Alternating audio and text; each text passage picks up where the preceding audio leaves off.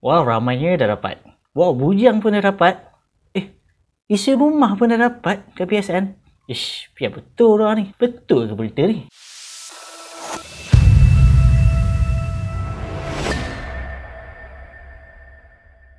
What's up guys? Assalamualaikum dan salam sejahtera kepada korang semua yang sudi menonton Saja Sebang. Aku Faizuan.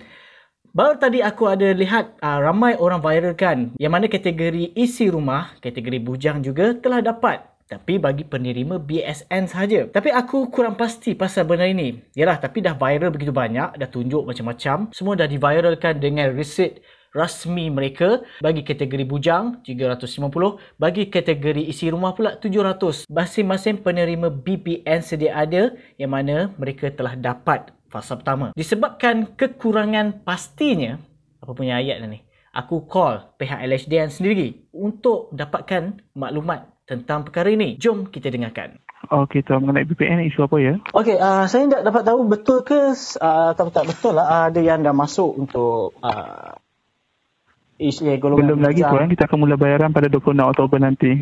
Oh, sebab apa ada dalam viral dia katakan BSN dah masuk?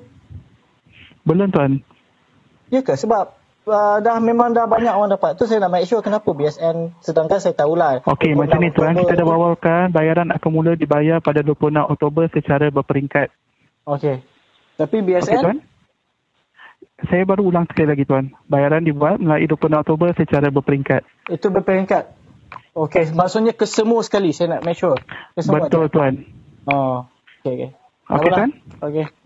Kau tengok garang juga orang LHDNM ni. Dah dua kali dia beritahu akan keluar 26 Oktober 2020 secara berperingkat. Tetapi mungkinlah apa yang terjadi kepada penerima BPN, pemegang akaun BSN, itu rezeki orang. Kita tak boleh buat apalah. Kalau tengok pun diviralkan, tak semua pemegang akaun BSN dapat. Dan satu lagi, tak semua negeri akan dapat. Sebab itulah pihak LHDNM berkeras mengatakan 26 Oktober itulah tarikh rasmi yang mana mereka akan dapat secara berperingkat. So tak perlulah kita nak salahkan orang dah dapat ke ataupun tak dapat ke.